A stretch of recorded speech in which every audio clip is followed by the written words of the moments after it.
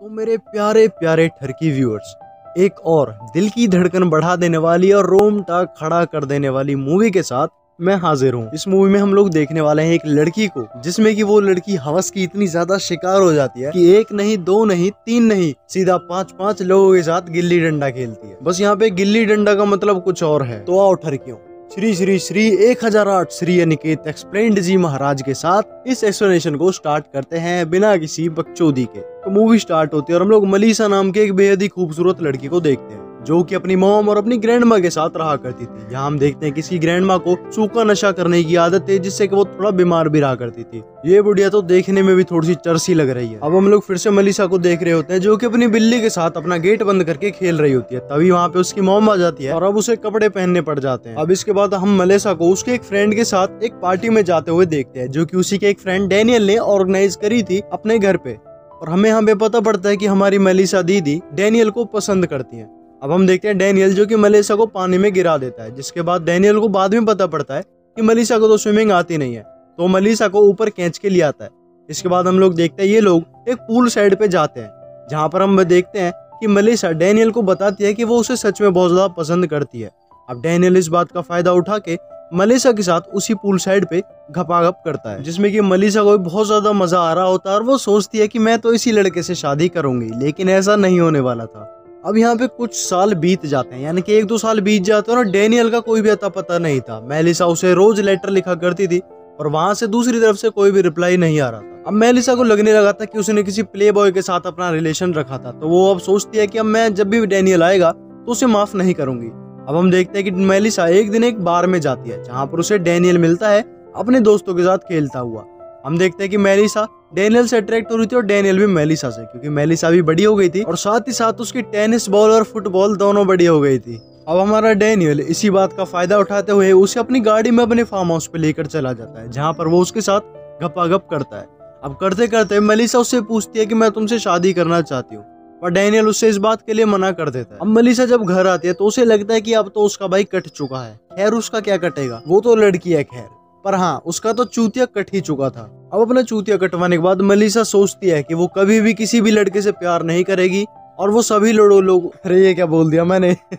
हाँ मतलब कि ये था कि वो किसी भी लड़के से प्यार नहीं करेगी और अब वो जिससे भी प्यार करेगी उसका काटेगी। और यहीं से शुरुआत होती है हम जैसे सीधे लड़कों की बर्बादी। अब मेलिसा इस बात पे पूरा पक्का डिसीज़न लेने के बाद अपने घर जाती है, जहाँ पर उसे पता पड़ता है कि उसकी जो ग्रैंड है, वो हॉस्पिटलाइज्ड हो चुकी हैं, ज़्यादा नशा करने की वजह से। अब ये खबर सुनकर मेलेसा का दिमाग खराब हो जाता है और वो अपने दिमाग को सही करने के लिए एक कैफ़े में जाती है, जहाँ पर उसकी मुलाकात एक अलग आदमी से होती है। वो आदमी उसकी तरफ़ लाइन मार रहा था और मेलिसा भी सोचती है उसका काटने की।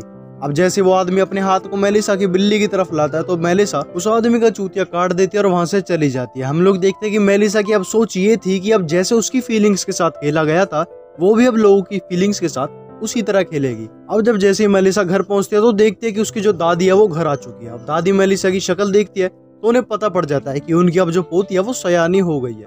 अब हम देखते हैं कि मेलिसा को एक कॉल आता है, जो कि डेनियल का था, और वो उसे बुला रहा था। अब सब चीज़ें भुलाकर मेलिसा डेनियल के पास चली जाती है, जहाँ पर डेनियल उसके साथ वो सब करने की कोशिश करता है उससे कहता है कि आँखें बंद कर लो। अब जैसे मलिसा आँखें क्लोज करती है, वहाँ पे डेनियल का एक फ्रेंड आता है, जो मलिसा के साथ वो सब करने की कोशिश कर रहा था।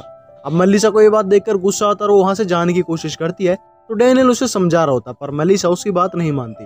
अब कुछ देर बाद मलिसा खुद ही आ जाती है और अपनी टांगों को उन दोनों के सामने चौड़ा लेती है। अब क्योंकि मेलिसा की सेल्फ रिस्पेक्ट लोगों की नज़रों में घट चुकी थी तो वो ये सब करके बोल्ड बनना चाहती थी। हम मेलिसा को फेसबुक पे एक अकाउंट बनाते हुए भी देखते हैं, जिससे कि वो और ज़्यादा लोगों के साथ इंटरेक्ट कर सके। इसके बाद हम लोग देखते हैं कि मलिसा के पास एक डायरी है, जिसमें कि वो ये सब लिखती थी कि वो आज किसके साथ कर रही है और कौन से पोज में कर रही है। अब हम देखते हैं कि ये डायरी किसी न किसी तरह से उसके एक फ्रेंड के हाथ लग जाती है। जब मलिसा कॉलेज पहुँचती है तो देखते हैं कि सब लोग उस डायरी को पढ़ रहे होते हैं। पर हम देखते हैं कि मेलेसा को इस चीज़ से कोई भी फ़र्क नहीं पड़ता, क्योंकि उसने अपनी इमेज कॉलेज में एक बोल्ड लड़की की तरह बना ली थी। पर जब वो घर आते तो अपने ऊपर रिग्रेट करने लगते हैं कि उसने अपनी ज़िंदगी कैसी बना ली है। अब वो जिस तरह की लड़की है, वो कभी भी ऐसी नहीं बनना चाहती थी। वो चाहती थी कि वो एक ऐसी लड़की बने जिसका सिर्फ़ एक ही बॉयफ्रेंड हो, और वो उसी के साथ अपनी पूरी लाइफ गुजारे। लेकिन उसकी किस्मत को कुछ और ही मंजूर था। अब अगले दिन हम लोग देखते हैं कि मलेसा कॉलेज जा रही होती है, जहाँ पर रास्ते में उसे डेनियल के एक फ्रेंड का मैसेज आता है और वो चाहता है उससे मिलने के लिए। अब यहाँ पर हम देखते हैं मलेसा को जो कि उससे मिलने के लिए एक गटर में एक गेट था, उसमें जाती है।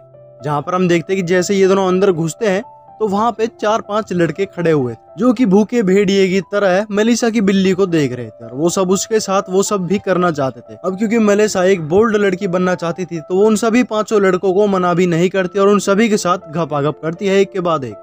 अब अगले दिन जब वो कॉलेज जाती है तो कॉलेज में सभी लोगों को पता चल जाता है कि मेलेसा ने कल रात क्या किया था। लेकिन उस बात का एक परसेंट भी रिग्रेट मेलेसा को नहीं था। हम लोग देखते हैं मेलेसा फेसबुक से एक आदमी के साथ हुकअप करती है, जिसके साथ जब वो घपा घप करने के लिए जाती है तो देखती है कि वो आदमी पागल है और करते करते वो आदमी मलेसा को मार रहा है। अब मारने पीटने के बाद मलेसा जब बुरी हालत में अपने घर पहुँचती है तो वो देखती है कि उसकी मोम ने उसकी डायरी को पढ़ लिया है।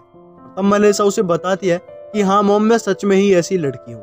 अब ये बात सुनकर मेलेसा की मोम रिग्रेट करने लगती है और सोचती है कि मैंने कैसी बेटी को जन्म दिया है, जिसे मैं अपने अच्छे अच्छे बातें नहीं सिखा पाई और वे गंदी आदतों में पड़ गई। अब अपनी मोम को रोता देख हम देखते कि मलेसा अपने सारे गंदे कपड़ों को गटर में डाल देती है और जो भी लड़का उसके साथ गंदी हरकतें करने की कोशिश कर रहा था, मलेसा उससे बातें भी नहीं करती और उसे पहले ही दूर भगा देती है। हम लोग देखते कि मलेसा अब एक बेटर लाइफ जी रही थी अपनी मोम के साथ। उसकी मोम भी उसे अच्छे से ध्यान दे रही थी। मलेसा की लाइफ पहले से बहुत ज़्यादा सुधर चुकी साथ ही साथ मलेसा अपनी ज़िंदगी में बहुत ज़्यादा खुश थी और यही दिखाते हुए ये मूवी यहीं पे खत्म हो जाती है। हाँ तो भाई मेरे प्यारे प्यारे ठरकियों अगर आप लोगों को ठरकी वाली मूवीज़ पसंद है तो ये मूवी मैं आपको ज़रूर रिकमेंड करूँगा। और अगर आपको सच में ही ये मूवी देखनी है तो मुझे कमेंट में बता देना। मैं आपको बता दूँगा की आपको ये मूवी कहाँ पे मिलेगी।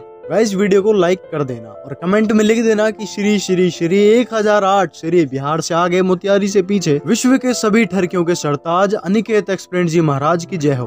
तो भाई लोगों, महाराज जी आपको फिर मिलेंगे एक और नई वीडियो के साथ। तब तक के लिए थैंक्स फॉर वॉचिंग